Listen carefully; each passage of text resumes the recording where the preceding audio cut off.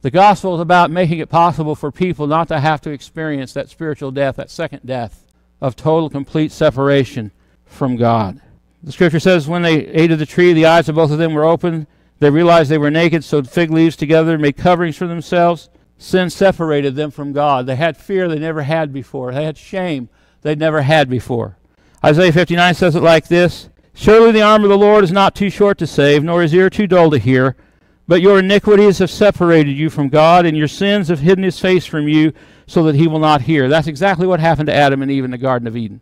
That's why they hid among the trees of the garden. They heard his voice in the garden. They were afraid because they were naked, because they were exposed, because they didn't have anything to protect them from this holy, righteous, powerful God that they suddenly felt they needed protection from that they didn't feel that before they disobeyed God. They didn't feel feel that before they, they responded in unbelief and doubt and fear, thinking God was holding out on them. God had something that He wasn't giving them. God was going to give them everything. Everything that the devil promised Eve in the garden, God was going to give it to them in His time and in His season. But He brought them there for fellowship. He brought them there for teaching and training. He brought them there to spend time with them. But they weren't willing to wait on God's schedule. Ephesians chapter 4. So I tell you and insist on it in the Lord that you must no longer live as the Gentiles do in the futility of their thinking. They are darkened in their understanding and separated. There's that word separated again. When we say death was, it's separation. That's what's wrong with the world today. People are separated from God. That's what's going on all around us. People are separated from God. They are darkened in their understanding, separated from the life of God because of the ignorance. When what is ignorance? Do you know there's a difference between being ignorant and being stupid? Do you know the difference? Ignorance just simply means you lack knowledge. Stupid means you might have some knowledge, but you totally lack wisdom.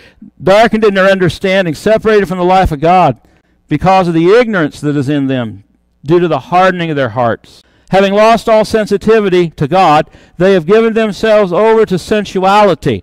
So they've left the realm of the spirit, and they're back here in the realm of the body. See that?